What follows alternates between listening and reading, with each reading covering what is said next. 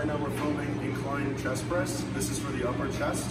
I'm gonna do approximately 10 reps, and then I'm gonna give you a little bit of instruction on how to maximize the efficiency of this exercise. All right, let's go.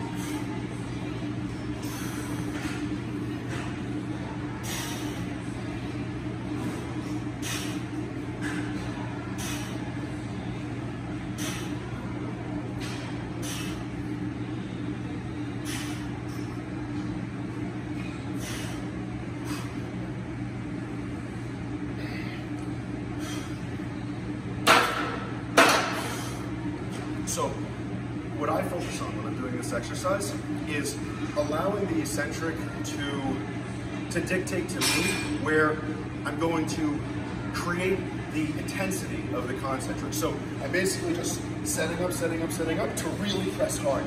For me, that's the way that I get the most uh, stimulation from the exercise.